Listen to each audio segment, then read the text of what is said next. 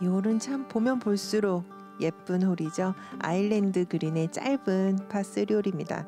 티인 구역이 아주 높은 곳에 있기 때문에 그린을 바라보았을 때 정말 경, 경치가 너무 아름답더라고요.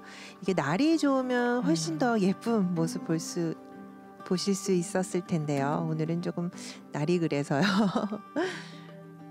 그래서 이렇게 영상으로 준비했습니다. 자, 오늘 그린 적중률도 좋습니다. 86% 기록하고 있는 박보겸. 특히 오늘 파3 홀이 좋았는데요. 또 한 번 기대를 해보시죠.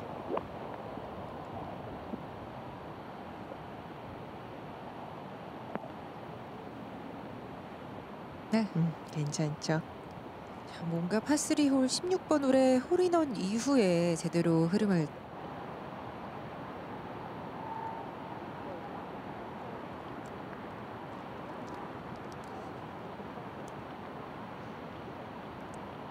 오늘 샷감은 계속 좋았고 지금 이 전홀 5번 홀에서 굉장히 긴 거리 음. 버디를 성공시켰기 때문에 이 퍼팅에도 또 좋은 영향을 미칠 수 아. 있거든요.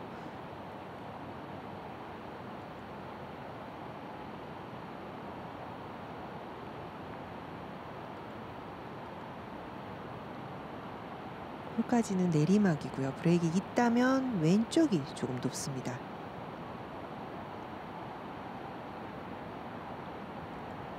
어느 정도 봐야 되는지는 그린 스피드에 맞춰서 달라질 것 같고요.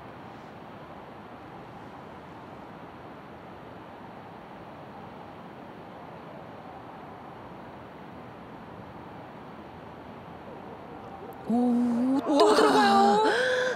와, 박보겸 연속 버디까지 8언더파 질주를 하고 있습니다. 아, 굉장히 차분한데요. 아, 이제 아. 웃음이 나오네요. 아, 2위 그룹과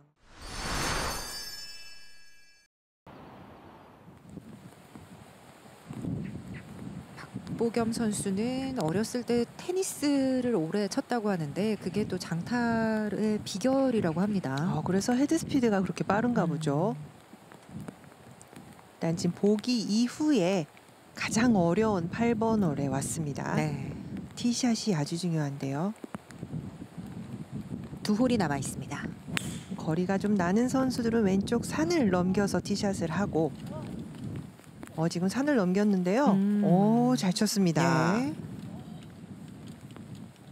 어, 많이 갔죠. 네. 에지까지 한 120 정도 음. 남은 걸로 보여요.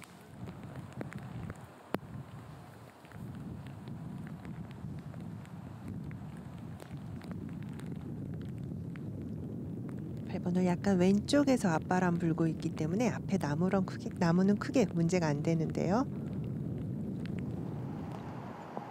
오. 네, 잘 쳤어요. 네, 일단 그린으로 잘 보냈네요. 박보겸 선수에게 이 8번 홀은 좀 간단해 보이는데요. 음. 마- 만들어서 선수들이 조금이나마 플레이하기 편하게 조건을 만들어줬죠.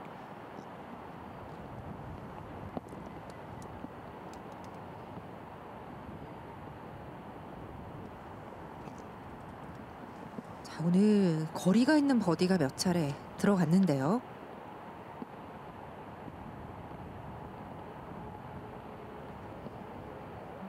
어, 네.